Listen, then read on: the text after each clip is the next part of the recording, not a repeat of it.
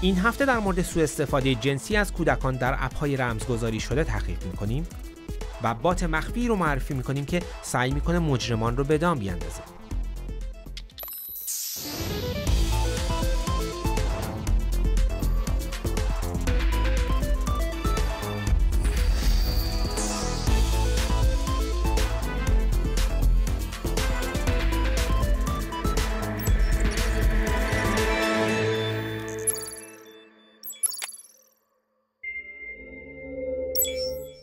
کلیک ما اغلب در مورد تاثیرات مثبت فناوری روی زندگی حرف می‌زنیم. از رفاه اجتماعی گرفته تا نزدیک شدن به همدیگه حل مشکلات پیچیده و بهبود کیفیت زندگی.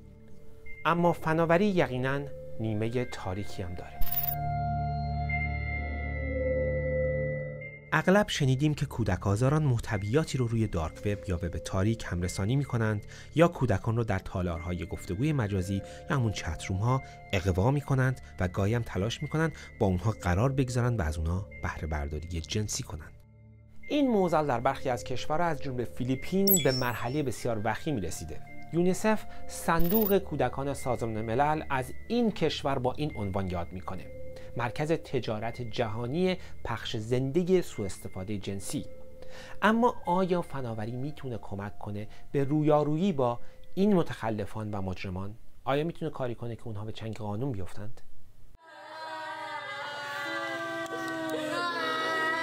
در گوشه دوردستی در قلب فیلیپین صدای درد و رنج ناشی از سوء استفاده جنسی از کودکان قلب آدم رو به درد میاره. هدف از این روش درمانی تخلیه احساسات منفیه که به عنوان یکی از راهکارهای مختلف در اینجا به کار میره. مأموریت بنیاد پریدا اینه که کودکان رو از شر بهره برداری جنسی نجات بده. این مرکز گنجایش سی کودک رو داره اما برآورد میشه نزدیک به 100 هزار کودک در سراسر کشور در معرض خطر بهره برداری جنسی قرار دارند. در این حال پیشرفت فناوری سبب شده مصیبتی که مدتها یک مسئله فراگیر محلی بود به یک بحران جهانی بدل بشه. در دهه گذشته پلیس به دنبال کسانی بوده که زمین ساز سوء استفاده در پناهگاه های سکس سایبری بودند. لانه هایی در محلات زاغنشین شهری جایی که از کودکان برای شرکت در فعالیت های جنسی با وبکم استفاده میشه. اون هم عمدتا برای لذت مخاطبان غربی در برابر پرداخت پول. تعدادی از قربانیان نجات یافته به مراکز اختصاصی توانبخشی سکس سایبری فرستاده میشند مثل این یکی در مانیل پایتخت فیلیپین موارد زیادی از سوء استفاده به طور تکان دهنده با تایید اعضای خانواده کودک اتفاق میافته. انجلا یکی از این قربانیانه که در دوازده سالگی به دست یکی از دوستان خانوادگی به آن سوی کشور و یکی از لانه های مخفی سکس سایبری قاچاق شد. خیلی تکون دهنده است چون فکر نمی کردم به عنوان یه مدل کار کنم. من هیچ تماسی با والدینم ندارم و گوشی هم ندارم. نمی‌تونم بیرون برم. اون کنترلم می‌کرد و من هیچ حقی نداشتم که نبگم. چون در اون صورت بهم سیلی می‌زد.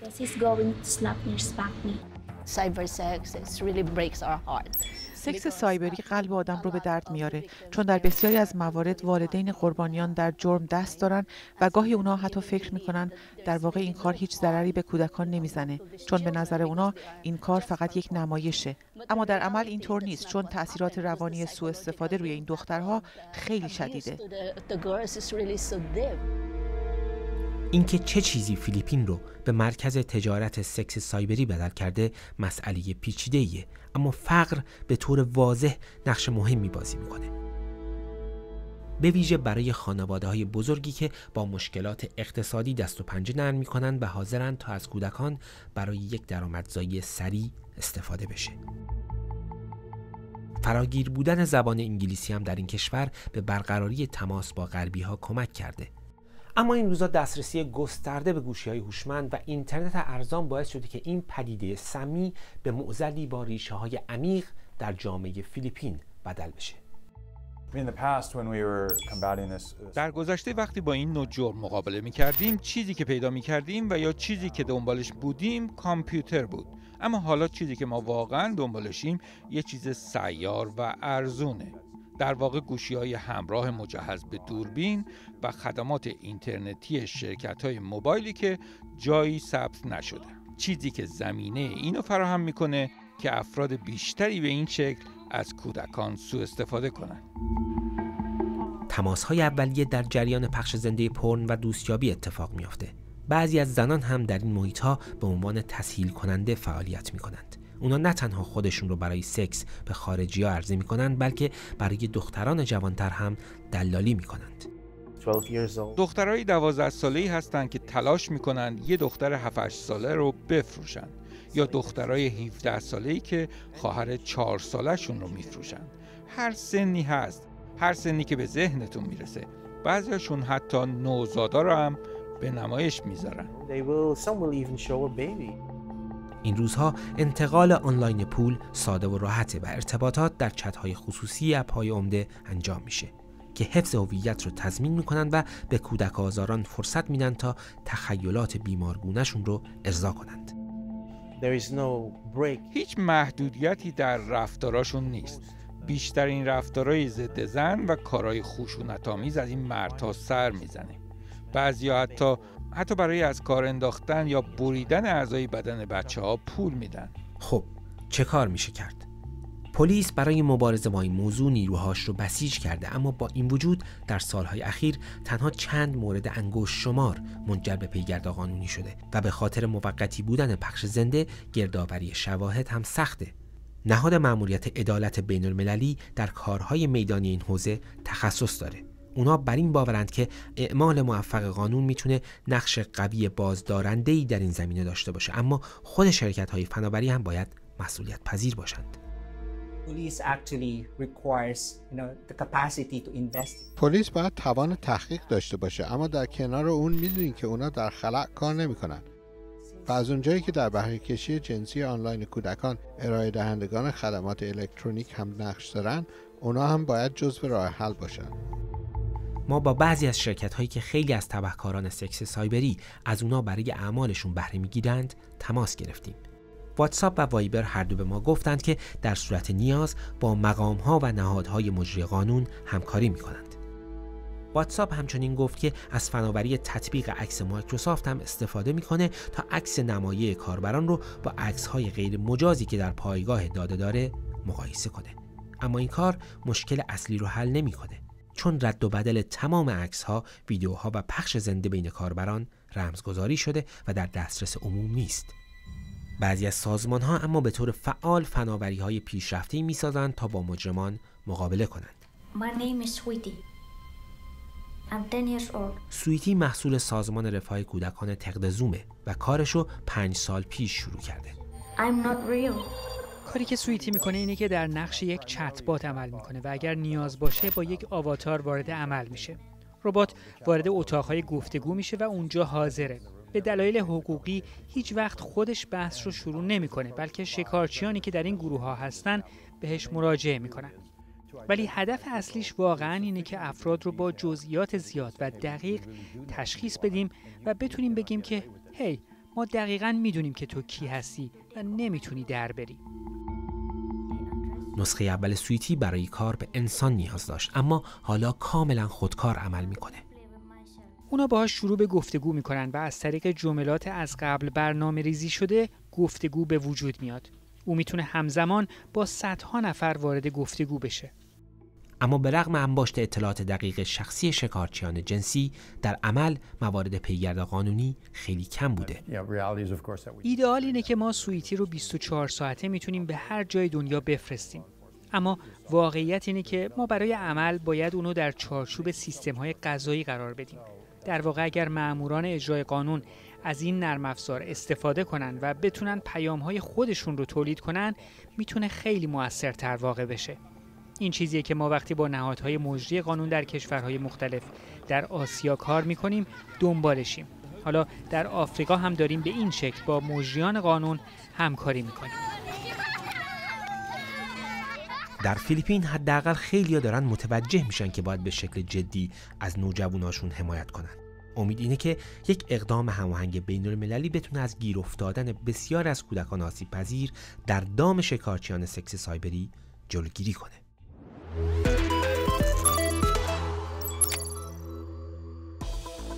این هفته اپل بر سر پرداخت رویالتی به شرکت کوالکوم سازنده چیپ های کامپیوتری به توافق رسید و باعث افزایش سهام اون شرکت شد. جک دورسی مدیرعامل توییتر خودش رو با کاپیتان کشتی تایتانیک مقایسه کرد و گفت وقتش رسیده که در مورد نحوه استفاده از خدمات توییتر بازنگری اساسی صورت بگیره و پلی استیشن از نسل تازه کنسولش که پنج سال روش کار شده خبر داد. این کنسول با بازی های PS4 سازگار خواهد بود و وضوح 8K خواهد داشت. تحقیقات مجله Which که از منافع مصرف کنندگان در بریتانیا دفاع می‌کنه نشون داده که فروشگاه آنلاین آمازون مملو از محصولاتیه که نقدهای مثبت پنج ستاره‌ای تقلبی دارند.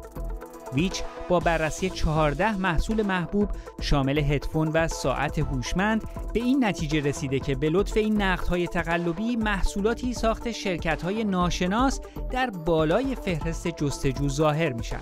آمازون گفته برای تشخیص نقدهای غیرواقعی از فناوری خودکار استفاده می‌کنه. اوبر در عربستان به رانندگان زن امکان داده تا از مسافر مرد پرهیز کنند. اوبر متوجه شده که تا 75 درصد از زنان راننده مایل به داشتن مسافر مرد نیستند. در عربستان زنان از تابستان گذشته اجازه رانندگی پیدا کردند. جک ما مدیرعامل علی بابا از فرهنگ ساعات کاری طولانی در شرکت های فناوری چین دفاع کرده و گفته امکان 72 ساعت کار در هفته برای کارگران موهبته کارگران فناوری در چین معمولا از ساعت 9 صبح تا 9 شب و 6 روز در هفته کار می‌کنند. بوستون داینامیکس توان روباتیکش رو این هفته با نمایش سگهای روباتیکی به رخ کشید که کامیونی رو در محوطه یک پارکینگ دنبال خودشون می‌کشن. این سگهای روباتیک سی کیلویی تا پایان سال وارد بازار خواهند شد. و در آخر در پی وقوع سیلاب های گسترده در ایران نیروی هوافضای سپاه پاسداران برای رصد و شناسایی مسیرهای سیل و تجمع آب در مناطق خطر آفرین از پهپادهای ساخت داخل استفاده می‌کنه. اطلاعات دریافتی از این پهپادها که به صورت شبانه روزی در فضای مناطق سیل زده در حال پروازن به واحدهای مهندسی و ستادهای بحران استانها مخابره میشن تا بر اساس یافته های لحظه به لحظه دست به اقدام بزنند.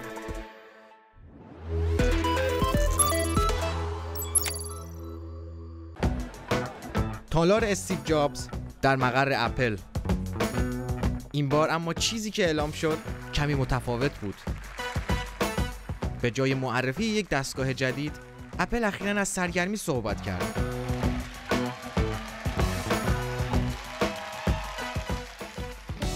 از اسپیلبرگ تا شخصیت های خیابان سسمی اپل سعی داره با تولید محصولات تلویزیونی محبوب راهی به هالیوود باز کنه.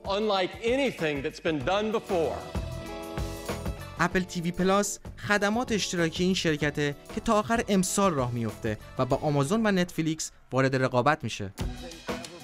هزینه این خدمات هنوز اعلام نشده اما فهرست هنرمندانی که قراره در این تولیدات مشارکت کنند بلند بالاست.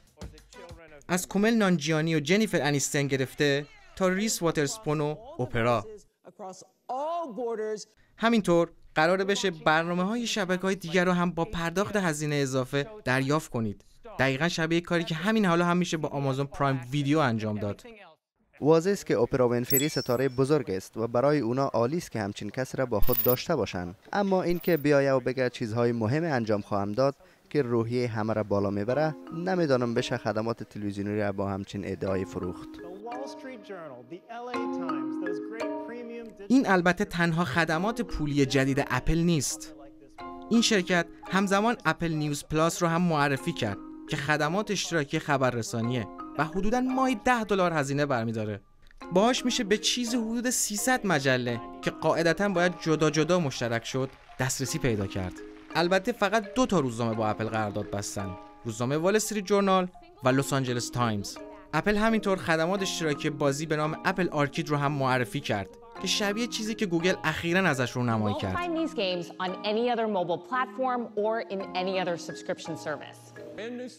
بعدش هم این معرفی شد. کارت اعتباری که اپل در شراکت با ابربانک گلدمن ساکس و مسترکارد عرضه می‌کنه. احتمالا تا حالا حدس زدید که. هدف اپل اینه که با کارهایی که کاربرا روی گوشیشون می‌کنن پول بیشتری به دست بیاره اپل متوجهه که تقاضا برای سخت افزارهاش کاهش داشته. فروش آیفون به عنوان پولسازترین و پرفروشترین محصول اپل پایین اومده. اما به عنوان یک موتور متحرکه چیزی نیست که در گذشته بود. برای همین از سال گذشته همش از خدمات صحبت می‌کنن و پول در آوردن از خدمات. درآمد اونا از خدمات طی چند دوره مالی اخیر خیلی بوده و این جاییه که رشد قرار توش اتفاق بیفته. اپل وعده داده تا در سه حوزه تحول ایجاد کنه ولی به نظر میاد بیش از هر چیزی روی یک میلیارد دستگاهی که تو جیب مردم هست حساب باز کرده برآورد شده که در بریتانیا فقط 700 هزار نفر درگیر اوتیسم هستند و این تعداد روز به روز در جهان بیشتر و بیشتر شناسایی میشند. دوم آوریل یعنی همین چند هفته قبل روز جهانی آگاهی رسانی درباره اوتیسم بود و هدف از انتخاب این روز اینه که همه ما با چالش های یک فرد اوتیستیک بیشتر آشنا بشیم. یکی از این چالش ها کنترل سطح استرابه موقعیتی که می‌تونه خیلی مرا نگران کنه است که تقریبا هر باری که از خانه میرم بیرون چون اوضاع از کنترلم خارج میشه واقعا نمی‌دانم چه اتفاقی می‌تونه بیفته. بودن در ازدهام و شلوغی بین مردم تمام مغزم و از کار میندازه. وقتی تو اجتماع بحث گروهی جریان داره من دلواپس و مسترب میشم. وقتی افراد جدید می‌بینم مسترب میشم. افراد اوتیستیکی که باهاشون صحبت کردیم خودشون روش هایی برای مقابله با این شرایط پیدا کردن. استراب بخش مهمی از اوتیسمه و برای خیلی ها یکی از راه های کنار اومدن باهاش نوشتن فهرسته. چیزهای جزئی کمک می‌کنه. مثلا کاری که دیدید من می‌کردم و دستایم شروع به انجام حرکت بی نظم می‌کنه. این کاری است که می‌تونه کمی انرژیتان دوباره تنظیم کنه.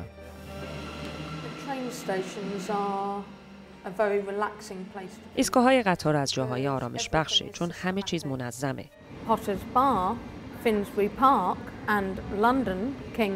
ایستگاه فینزبری پارک و کینگز کراس لندن. این قطار 8 تا کابین داره. صرف نظر از راهکارهای شخصی، پژوهشگران بیش از پیش به فناوری روی آوردن. فناوری می‌تونه به اشکال مختلف به افراد اوتیستیک کمک کنه تا احساساتشون رو درک و خودشون رو تنظیم کنن و کمک بخوان. یکی از نمونه ها که هنوز در مراحل اولیه است توسط نایجل نیوبات پژوهشگر آموزش دیجیتال در دانشگاه غرب انگلستان در حال بررسیه. او تلاش می‌کنه ببینه آیا میشه با آموزش کارهای عملی از طریق واقعیت مجازی استراب رو در نوجوانا کاهش داد این روش در مدرسه ای در سامرست آزمایش میشه. اینجا دانش آموزان کار کردن در یک کافی شاپ رو یاد می‌گیرن. بچه ما که همگی از طیف اوتیسم هستن بر این باورن که در کارها شکست می‌خورن. صرف یاد گرفتن توانایی قهوه درست کردن آسون ترین بخش کار بود که واقعیت مجازی به کار اومد. اینطوری می‌تونن روی یادگیری این تخصص متمرکز بشن. بعد وقتی در کافی شاپ کسی میاد و سلام می‌کنه به جای فکر کردن به اینکه چطور قهوه درست کنن می‌تونن روی جنبه اجتماعی کار متمرکز شن. برم کمک می‌کنه که با شرایط جدید آشنا شوم. وقتی وارد دنیای مجازی میشم تنها خودمم و کسی دیگه نیست.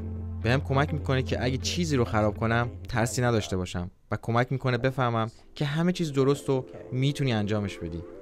فناوری دیگه ای که قرار از راه برسه اپ مول هیل ماونتینه که کینگز کالج لندن و پژوهشکده خیریه اوتیستیکا طراحیش کردن. چیزای نگران کننده ای که می‌خوای رو به مول هیل ماونتن اضافه کن. چراغ‌های نورانی آره نگرانی بزرگیه. ما این رو در اختیار سه داوطلب قرار دادیم تا چند هفته ای آزمایشش کنن. بر پایه شیوه درمان رفتار شناختی که برای افراد اوتیستیک طراحی شده این اپ خودگردان از افراد اوتیستیک بالغ تقاضا می‌کنه تا نگرانی های روزمره خودشون رو داخل حباب هایی که بعدا روی کوه شناور میشن وارد کنن و از این راه نگرانی های افراد اوتیستیک رو ردیابی می‌کنه. بعد بهشون مأموریت میده تا با ترکوندن حباب ها برای نگرانی هاشون آماده بشن. وقتی کاربران نگرانی هاشون رو تشخیص دادن نکاتی رو بهشون پاداش میده تا در مورد وضعیتشون بهتر بدونن. غیر منطقی به نظر می‌رسه که این ترکندن حبابهای خیالی روی یه صفحه نمایش بتونه کمکی بکنه. اما کمکش چشمگیر بود. نمی‌تونه خود استراب رو رفع کنه و نباید برای این کار استفاده بشه. ولی به عنوان یه چیز جانبی یقینا خیلی مفید بود. اگر روز بدی داشتم و قرار بود در پایان روز برش فکر کنم می‌تونست به طور بالقوه خوب باشه. که مثلا ببینم چه اتفاق افتاده. اما یقینا اپ جنبه های منفی هم داره. به طور مثال از من خواست که نگرانی های ما وارد کنم. و من هفت نگرانی ما وارد کردم. برام گفت تو خیلی نگرانی داری. این چیزی است که اپ به هم گفت. و من تعجب کردم و گفتم اوه ایره نباید به یک فرد اوتیستیک بگی. چیز جالبی نیست. بعد ازم خواست که بعضی چیزها رو به زبون خودم توضیح بدم. می‌دونید که خود کلمه هایی مثل توضیح و تعریف و تصور کن استراب آوره. چطور می‌تونست بهتر باشه؟ به نظرم بهتر بود سوالها رو مستقیم و در مقیاسی از اعداد می‌پرسید. مثلا در این مورد از یک تا ده چه حسی دارید چیزی که واضحه اینه که نوع استراب در اوتیزم برای هر فردی متفاوته یکی از نرم افزارهایی که در بعضی از شعب سامانه سلامت همگانی بریتانیا NHS روی کلاود عرضه میشه برینین هنده که راهکارهای شخصی سازی شده ارائه میده این سامانه هم بر پایه یک سری درمانهای جا افتاده کار می‌کنه و به کارکنان حرفه‌ای بهداشت و درمان متکیه که با کاربرا کار می‌کنن تا برای شرایط خاص راه حل پیدا کنن. وقتی کاربرا مضطرب میشن از برینین هند استفاده می‌کنن تا به راهکارهایی که از قبل برنامه ریزی شده دسترسی پیدا کنن. نگرانی که روزی کینگ دانشجوی سال سوم دانشگاه داره کم کم از بین میره. اپ بهش راهکار پیشنهاد میده و کمکش می‌کنه احساساتش رو مدیریت کنه. بخش منطقی مغز من می‌دونه که همه چیز قرار درست باشه و قرار به راحتی خونه برسیم. اما بخش بزرگتری از سرم هست که کاسه کوزه ها رو میشکنه و جیغ می‌زنه. تو شکست خوردی تو شکست خوردی. ما باختیم. قرار نیست هیچ وقتی به خونه برسیم. چه خاکی باید به سرمون بریزیم؟ اپ با بررسی استراب به روزی کمک می‌کنه احساساتش رو بفهمه و بهش یک سری کار از پیش تنظیم شده معرفی می‌کنه. اما چیزی که آرامش بخشه دکمه قرمز 24 ساعته که او رو به یک شخص حقیقی مرتبط می‌کنه. موقعی که ترس دارم هر کاری از دستم بر بیاد رو به هر قیمتی که باشه انجام میدم. از هشدار قرمز تنها وقتی استفاده می‌کنم که در بدترین وضع باشم و نتونم خودم رو کنترل کنم و نیاز داشته باشم با کسی واقعا صحبت کنم.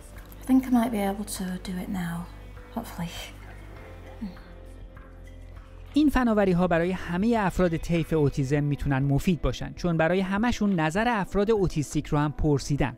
فناوری های بیشتری هم قرار عرضه بشه. در نسخه آزمایشی پروژه‌ای که امسال قرار راه اندازی بشه اطلاعات موجود از همه فناوری ها در این زمینه و از جمله راه های مقابله با استراب گردآوری میشن. فناوری های وجود داره که مخاطبشون عموم مردمن و افراد اوتیستیک نمی‌تونن ازشون استفاده کنن. برای مثال افراد اوتیستیک با مسائل احساسی دست و پنجه نرم می‌کنن و فناوری باید خودش رو با این نیازها تطبیق بده تا تهدیدآمیز نباشه و موثر واقع بشه.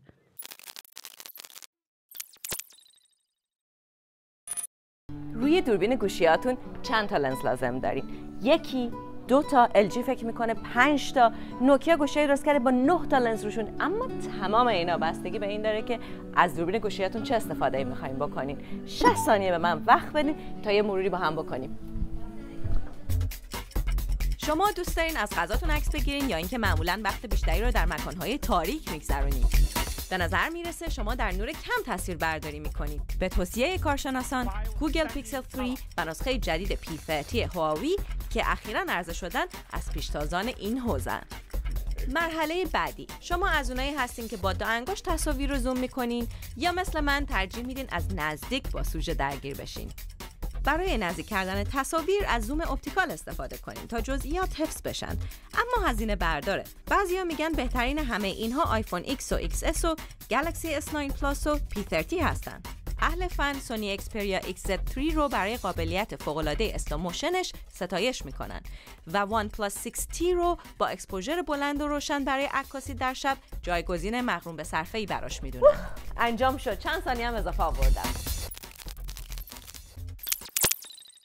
یکی دیگه از برنامه کلیک همینجا به پایان می‌رسه. تکرار این برنامه رو در وبسایت ما ببینید به نشونی bbcpersian.com/click یا از طریق یوتیوب سی فارسی تماشاش کنید. برنامه قبلی هم اونجا در دسترس هستند. با ما در تماس باشید. از راه ایمیل به نشانی persianclick@bbc.co.uk و از طریق توییتر با شناسی @persianclick بسیار ساده است این آخری.